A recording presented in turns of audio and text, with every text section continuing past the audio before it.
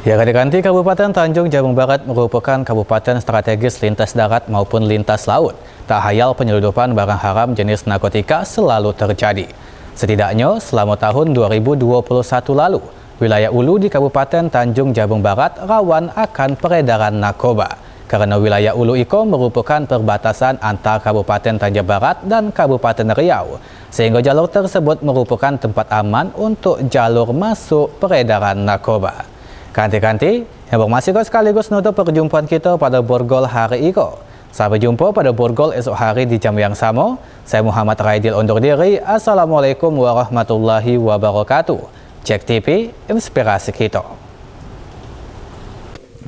Selama tahun 2021 lalu, tangkapan terbesar puluhan kilo narkotika jenis sabu terdapat di jalan lintas timur, wilayah Ulu dan wilayah Ulu perbatasan Tanjung Jabung Barat. Tanah Riau merupakan akses aman bagi kurir narkoba untuk menjalankan aksinya. Tak hayal wilayah Ulu tersebut menjadi target pihak kepolisian. Terkait wilayah Ulu kerap menjadi tempat akses peredaran narkoba hal iko tak disangkal oleh Kasat Narkoba Polres Tanjung Barat AKP Tony Ardian. Menurutnya wilayah Ulu merupakan wilayah lintas timur menuju kabupaten maupun provinsi lainnya. Mahkota Hayal, Jalan Lintas Timur wilayah Ulu menjadi tempat akses jalan para kurir narkoba untuk melancarkan aksinya. Rata-rata wilayah perbatasan seperti di Kecamatan Merlung dan Batang Asam, para kurir narkoba berhasil ditangkap oleh pihak BNN Provinsi Jambi. Dari pengalaman 2021 maka di tahun 2022 iko, tim Satuan Narkoba Polres Tanjung Barat akan lebih intens dan waspada terhadap peredaran narkoba di jalan lintas timur wilayah Ulu tersebut. Oleh proses-proses wilayah Ulu maupun uh, kita sendiri yang ada di Kota Tukang.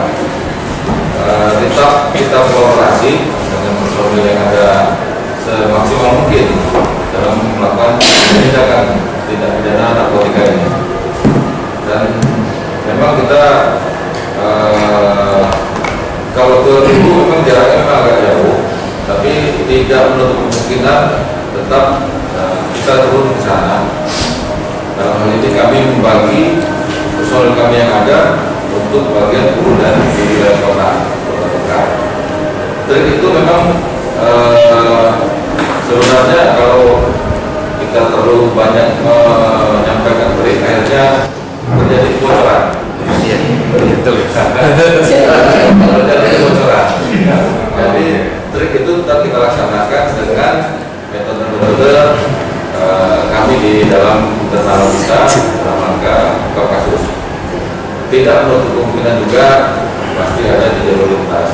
Cuman juga Diketahui kasus narkoba dibandingkan tahun 2020 lalu yakni terdapat 48 kasus, sedangkan tahun 2021 berjumlah 60 kasus. Dengan demikian, tim Sat Narkoba Polres terus bekerja dalam memutus mata rantai peredaran narkoba di wilayah hukum Polres Tanjung Jabung Barat. Namun tetap diharapkan peran serta masyarakat untuk membantu polisi jika ada gerak-gerik mencurigakan di lingkungan tempat tinggal orang ketinggal. Peran masyarakat dinilai sangat penting dalam mengungkap peredaran narkoba. Surya Kurniawan, Cek TV, Ngabari.